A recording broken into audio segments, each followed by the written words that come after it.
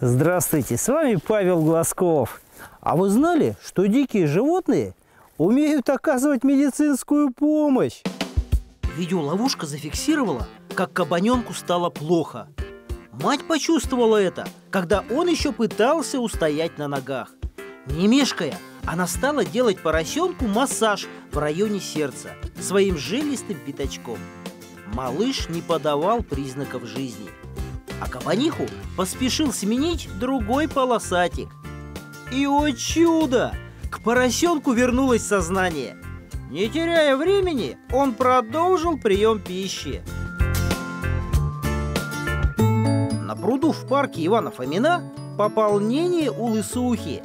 В первые дни жизни ее птенцы имеют удивительную окраску. Их тело покрыто черным пухом. На шее контрастные желтые перья, а клюв и лысина на голове ярко-красного цвета. Малыши не слишком похожи на родителей, больше на грифов, но, как и все птенцы, преданно за ними следуют и постоянно выпрашивают еду. Лысуху ошибочно считают уткой, а ведь это родственница журавля.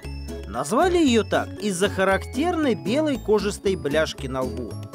В наши края лысухи прилетают из Западной Европы, как правило, из Франции и Италии, чтобы здесь вывести потомство. Пары эти пернатые образуют на всю жизнь. Причем отец активно участвует в выращивании потомства. На днях мы с фотографом Егором Камелевым отправились в пригород Петербурга, в Невский лесопарк. Нашим объектом для макросъемки стала тля. Величина этого насекомого не превышает нескольких миллиметров. В природе тля встречается бархатно-черного, прозрачно-желтого или травянисто-зеленого цвета. Живут насекомые колониями.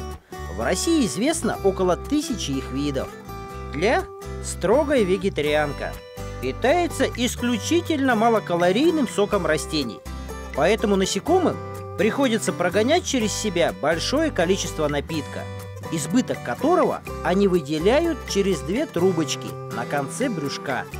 Эту сладкую жидкость и приспособились пить муравьи. Тлю они доят, словно коров.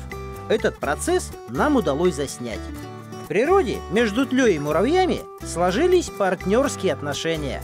Муравьи защищают колонию тли от хищников, а та своих охранников – кормит питательной жидкостью, которая называется медвяная пать. Это один из примеров, как в дикой природе умеют договариваться между собой даже насекомые. Ну а я и дальше буду внимательно следить за лесными новостями. Любите и берегите природу. С вами был Павел Глазков. До новых встреч!